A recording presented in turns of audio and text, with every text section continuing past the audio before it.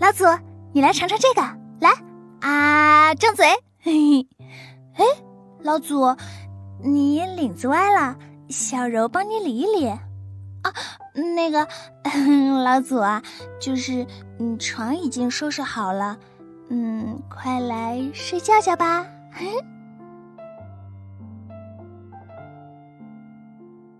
第四百九十三集。虽然室内光线昏暗，但南巡很清楚的看到，就在莫桑身后坐着一个女鬼，那是一个长发女鬼。察觉到来人后，慢慢调转了头，她的长发有一半从前面披了下来，从头发缝里可以看到一张青白色、死气沉沉的脸，眼睛翻白，嘴巴嫣红。此时见南浔看他，他嘴角咧了咧，用那眼白阴森森的看着他。你也能看到我？你说我漂亮吗？南浔冲他翻了个白眼儿，移开目光，在卧室环视一周，最后看向那挡窗户用的黑布。莫太太，这遮窗户用的黑布，如果换成红布就好了。红能解百煞，脏东西最畏惧红色。莫妈妈一愣，连忙道：“好好好，等会儿我就换成红布。不用了，我既然来了，当然一次性帮你解决问题。”那女鬼听了两人的对话，用眼白狠狠的瞪向南浔，冷冷道：“小丫头，你最好不要多管闲事。是这个女人自己找上我的，她既然找了我，就得听我的话。”说着。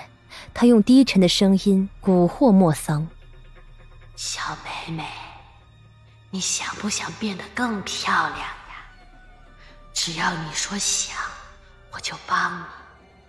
说呀，说你想。”然而没有镜子，莫桑就看不到他的脸，也听不到他的声音。女鬼有些气急败坏。结果就在这时，南巡突然跟莫桑妈妈道。莫太太，卧室的灯开关在哪儿？开灯。女鬼一听这话乐了，连忙道：“开灯好啊，快开！”莫妈妈还没开口，床上安静的莫桑一听到“开灯”两个字，突然尖叫一声：“啊！不要开灯！不要开灯！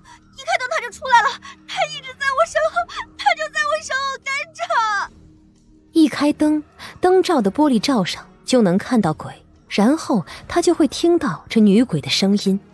南巡走上前，将一枚安神符放在莫桑的手中，然后将他抱在怀里。别怕，莫桑，我来帮你带走他。真的吗？莫桑呆滞的目光微微一动，看向南巡。南巡笑了笑：“嗯，真的。他是不是长头发，翻着眼，嘴巴跟腊肠似的，奇丑无比？”莫桑一听这话，居然目光一亮，重重点了点头。对，你能看到他。见莫桑不仅恢复神智，还跟这个女孩聊了起来，莫妈妈和莫先生心里皆是一喜。那女鬼却被南巡的话刺激到了。你这贱女人，眼睛瞎了吗？我明明长得美艳如花，当年我可是红遍国内外的国际巨星。我哥当年最喜欢我这张脸了，哼，丑八怪！女鬼气愤的想去揪南巡的头发，却快在碰到的时候，啊的惨叫一声，飞快的往后缩了几步，一脸畏惧的看着他。南巡看了一眼沈光弼，沈光弼会意，立马将背包里的八卦镜和几张符箓取了出来。等卧室灯一亮，南巡忽的用手。捂住了莫桑的眼睛，将八卦镜放到两人面前。八卦镜中照出了南巡和莫桑的脸，也照出了那鬼。南巡对着八卦镜道：“哎，你不是说自己是大美女吗？嗯，那你来看看啊，这镜子里的自己。”身后的女鬼半天没有动。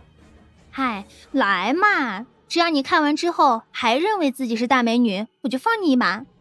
女鬼一听这话，犹犹豫豫的爬了过来，一双翻白的眼直直盯着八卦镜中的自己。南浔笑眯眯的问：“不知道你对自己现在的长相是否满意？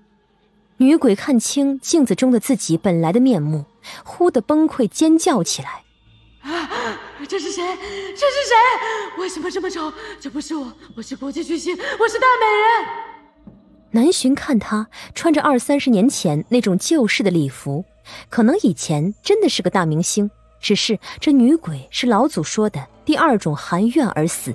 若怨气不消，变成鬼的模样，也会丑陋无比。莫桑将南巡捂住他眼睛的手放了下来，小声说：“我天天见，已经习惯了。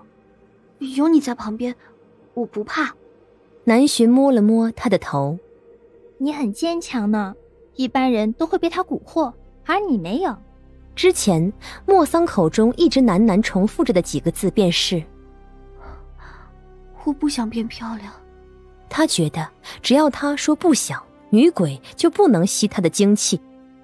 莫桑有些不好意思的道：“那篇灵异文我也看了，作者在里面提到过，鬼祟如果问你什么，你千万不能正面回答，一定要反着来，这样就安全了。”南玄呵呵一声，看来这篇灵异文的作者还真懂这里面的一些道道。此时，那女鬼已经彻底崩溃了。她一直以为自己是个大美女，谁知道在镜子里看到一个丑八怪。是不是因为我变丑了，所以顾哥才把我甩了，上了表妹的床？贱人，这两个贱人！女鬼哈哈大笑起来。就算我丑又怎么了？顾哥已经被我亲手杀死，还有那个怀了孕的小贱人。一个十八线小明星也敢跟我抢男人，我活活吓死了他！让他当小三，我弄死他们！笑着笑着，他又呜呜哭了起来。我对他们多好呀！我亲手为他做饭，为他放弃通告，我将他带进娱乐圈，给他介绍资源。他们两个为什么要背叛？为什么偏偏是他们两个？我恨啊！我好恨啊！南浔听了这话，大概脑补了一出发生在二三十年前的渣男出轨的狗血故事。渣男本来和美艳大明星是一对，但美艳大明星太强势了，让渣男没有征服欲，于是渣男搞上了大明星的小白花表妹。那小白花之所以能进入娱乐圈，认识渣男，还是大明星牵的线。唉，南浔表示自己画本子看多了，一两句就能将剧情猜个大概。这女明星固然可怜，可是，南浔掉头看向他，淡淡道：“既然已经索了那渣男贱女的命，为何不去往生，还在世间逗留呢？”女鬼闻言沉默。然后摸了摸自己的脸，我怕重新投胎之后，自己就不会拥有这么漂亮的脸蛋了。你知道吗？我的粉丝都说我长得特别美，还封我为第一美女。南浔残忍的提醒道：“啊，你刚才不是看到了吗？你现在有多丑？”